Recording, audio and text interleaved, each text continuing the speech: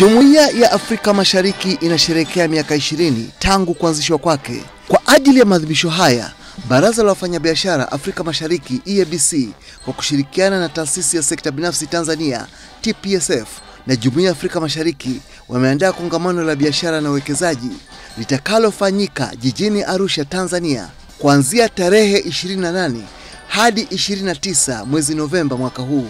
Ili kufanikisha kongamano hili, EABC na TPSF wanawaalika wafanyabiashara wote wakubwa na wadogo nchini kushiriki.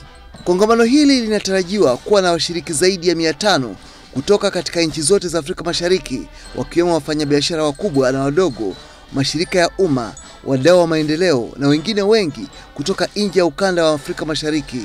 Viongozi wa ngazi za juu kutoka kila nchi wanatarajiwa kuhudhuria wakiwemo marais, mawaziri na makatibu wakuu. Pia kutakuwa na maonyesho ya biashara ambapo wafanyabiashara wote mnakaribishwa kuonyesha bidhaa zenu. Kongamano hili litatoa mwongozo wa ajenda ya sekta binafsi katika jumuiya. Pia baraza la mawaziri la Afrika Mashariki litakaa na wafanyabiashara kujadili kuhusu masuala nyeti ya biashara na uwekezaji.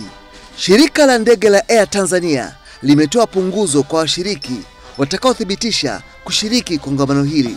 Ili kujua namna ya kushiriki, tafadhali wasiliana nasi kwa namba hii 074 337 8284 au wavuti www.eabc-online.com mkwaju EABIS mkwaju